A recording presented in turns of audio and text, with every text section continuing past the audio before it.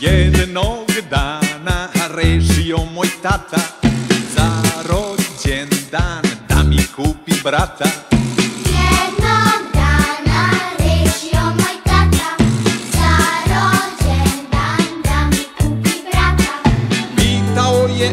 dućanu gde prodaju suvu hranu I kupus i srema, ali rekli su mu nema.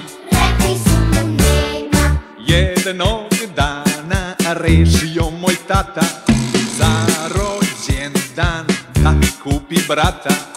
Jednog dana rešio moj tata Za rođendan da mi kupi brata.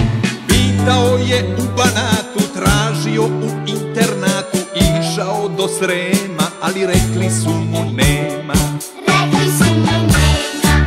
Onda jednog lepog dana dođe mama nasmejana Pravo iz porodilišta, kao da to nije ništa I reče sa vrata, donosim ti brata.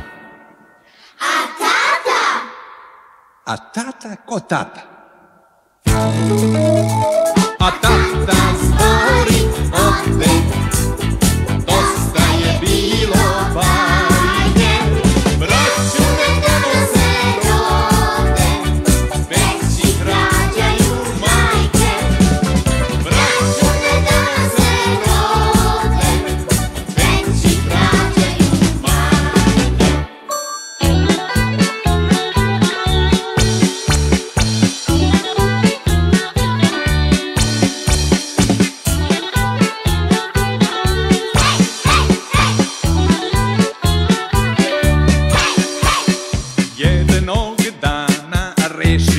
tata Za rođendan da mi kupi brata.